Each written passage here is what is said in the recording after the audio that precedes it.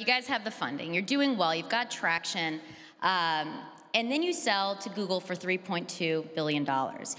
you didn't have to do it. I, I mean, obviously, that's No. a lot of money, right? yeah. Um, but you didn't, you didn't necessarily have to do it yet, right? You guys could be, as we talk about the Internet of Things and, and these smart devices, you guys could be it. So why go to Google? Our team always set out with a vision to change the home and change the homes around the world. And the only way to do that was with tremendous scale and tremendous resources. We are a hardware, software, and services company that has to tailor our products to homes all around the world. There's been a dream of the connected home since the 80s. There's so many things that have to change before it's actually going to realize this vision that we've been pitched for multiple decades. What we need to do is take product by product and innovate that.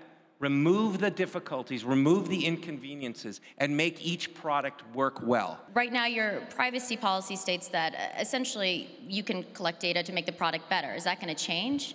The data that we collect is all about our products. If there were ever any changes whatsoever, we will be sure to be transparent about it, number one, and number two, to, for you to opt into it. What was it like um, working with Steve Jobs? I mean, what did he contribute to your vision today?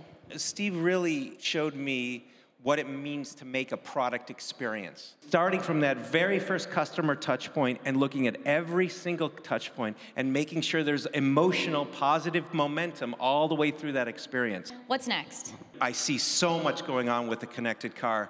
We don't see a lot of it yet that's touching consumers. It's not just big companies that are innovating in the connected car space, lots of small companies.